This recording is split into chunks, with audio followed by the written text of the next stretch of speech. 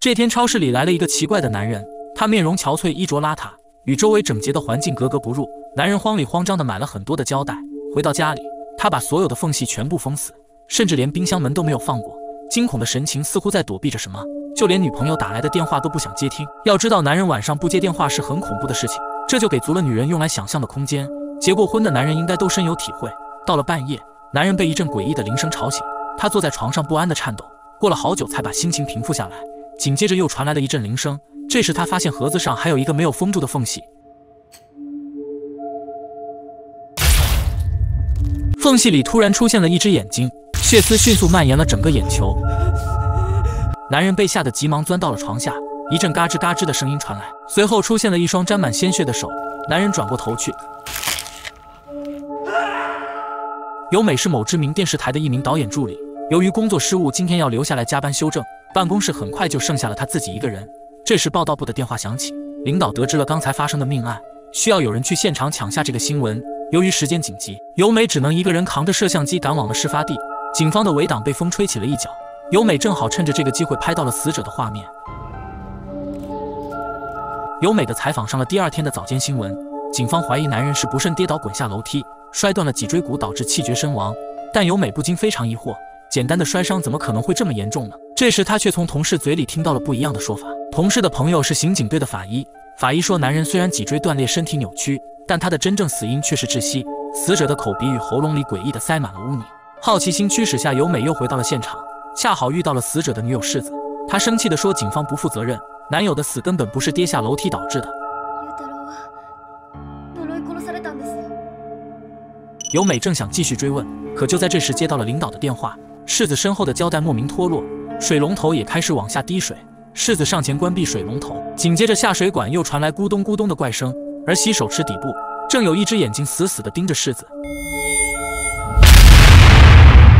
下一秒，一股泥浆喷射而出，直接喷了世子一脸。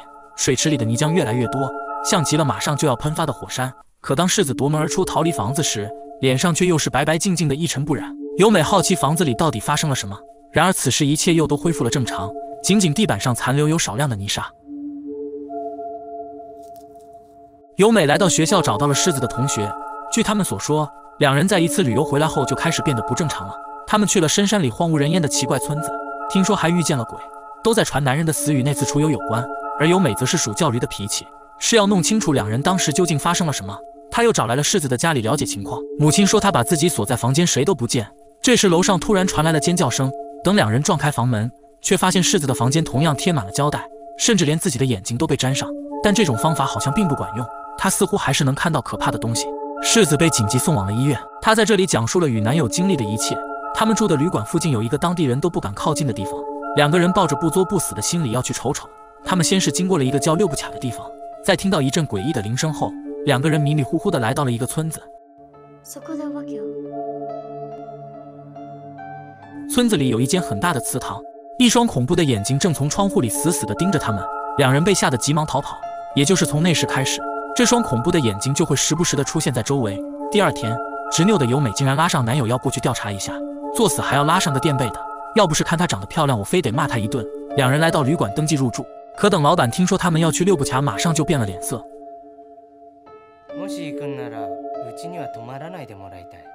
好在男友及时打圆场，才蒙混过关。可第二天早上。两人还是踏上了前往六步卡的小路。他们按照世子的描述一路走下去，果然很快就发现了照片中标志性的大石头。再往前走，应该就是世子去过的村庄。可之前的小河变成了大水库，照片里的村庄却诡异的消失不见。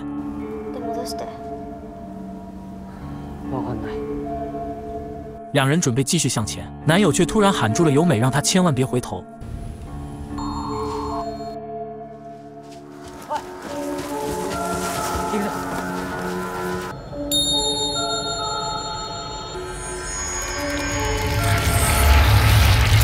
由美和男友找到了那个神秘村庄的资料，村子名叫吕垒村，早在四十五年前就被水库淹没在了地下。可世子却说他们前段时间刚刚去过那个村子，到底是哪个环节出错了呢？他。们还在一本志怪传说里找到了吕磊村的资料。吕磊村之所以又被称为六部卡，是因为六部卡中的六部指的是那些云游全国的朝圣者或苦行僧人，而卡字面意思指的是山脚下。六部卡三个字连起来，就是泛指那些为朝圣者或者僧人提供食宿歇脚的地方。吕磊村还有一个关于窥视之谋的传说，但这本书里并没有详细介绍。男友大胆猜测，世子他们的遭遇肯定与这个传说有关。为了搞清楚事情的真相，他们找到了这本书的作者龟田一郎。覗き目について知りたいそうだね一开始，老头并不想谈及过去的事情，直到他看到了世子拍的照片。原来龟田年轻时非常迷恋这些民间传说。五十年前，他也是为了调查窥视之谋的传说来到了村子里，但这里的村民看到龟田都会本能的躲避， 根本就没有作为六部卡所应该表现出的热情，甚至可以说是有点恐惧。村长一家人热情地招待了龟田先生，他拿出了关于窥视之谋传说的古籍给龟田看。据说，一旦有人误砍了寄宿着山神的大树，就会遭到窥视之谋的诅咒。说白了，这就是山神对他们的惩罚。起初，他们会有一种被人窥视的错觉，不久后，这种错觉会越来越强烈。他们会看到一双恐怖的眼睛无处不在，强大的恐惧心理会折磨他们一生一世，不死不休。可事实真的如龟田先生所说的这样吗？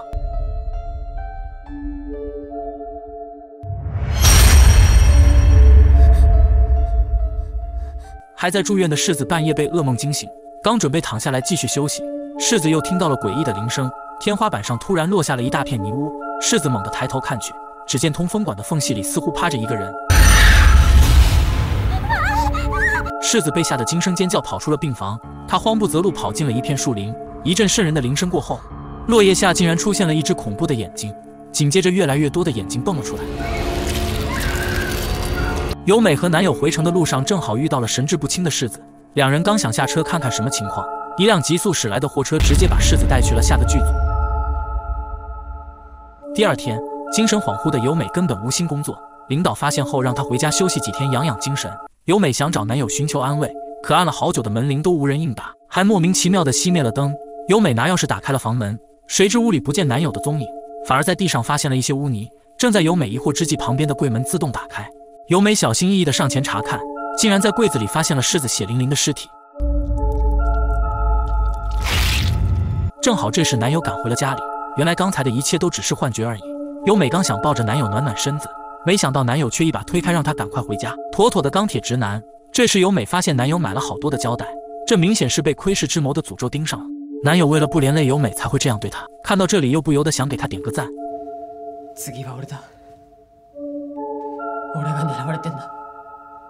伴随着诡异的铃声响起，男友似乎看到了什么可怕的东西。由美又一次找到了龟田一郎。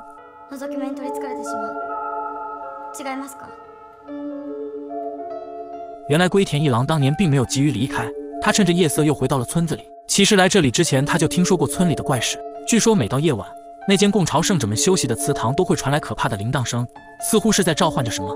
果然，到了半夜，村长的妻子端着食物走向了祠堂。龟田在祠堂的地板下面发现了一个暗道，暗道里有一个类似祭坛的地方，一个小女孩正在狼吞虎咽地吃着东西。后来才知道，女孩是从附近村子里抢回来的孤儿。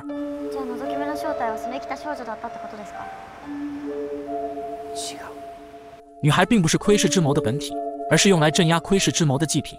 窥视之谋的传说最早可以追溯到几百年前，村民们白天善意的接待朝圣者，而到了晚上就会把他们残忍杀掉，只为了他们身上的几两碎银。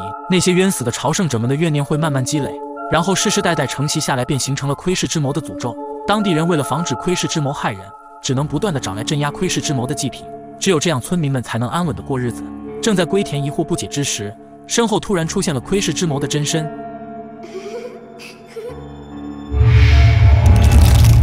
龟田被吓得摔倒在地，祭坛前的女孩却不慌不忙地拿出了一串类似项链的法器。只见法器金光一闪，窥视之眸便消失得无影无踪，似乎这就是女孩存在的意义。但当年的龟田一郎并不了解事情的真相，于是带着女孩和法器连夜逃离了村子。可能正是由于村子失去了镇压窥视之谋的祭品，村子里开始灾祸蔓延，直到最后彻底荒废，被水库淹没。女孩被救回来不久后因病死去，龟田也开始有了被人窥视的感觉。他之所以能够勉强保住性命活到现在。只因他亲手毁掉了自己的双眼。而此时的医院里，由美的男友正在经受着诅咒的痛苦折磨。一阵铃声过后，男友在不停转动的风扇中看到一只恐怖的大眼睛，他慌忙间跑出病房，来到了走廊。可抬头一看，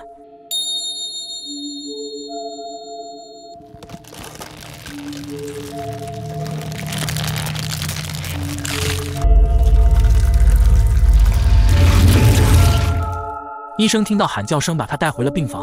为了摆脱这非人一般的痛苦，男人竟然选择了与龟田同样的做法。看着病床上奄奄一息的男人，由美好像后悔了。如果不是自己的执迷不悟，怎么会造成这种局面？她坐在医院的长凳上，不知该何去何从。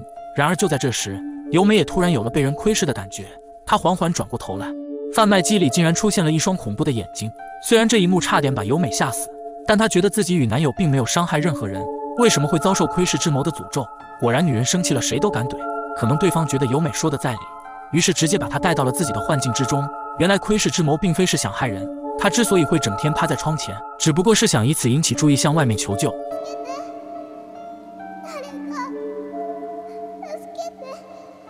由美把自己的发现告诉了龟田一郎，但老头听完后也是一脸懵逼。死んだ人間をどうやって助ければいいんだ由美大胆猜测，女孩的行为只不过是想让更多的人知道她的故事。那些冤死的鬼魂也不愿意就这样默默地躺在地下变成一尊白骨。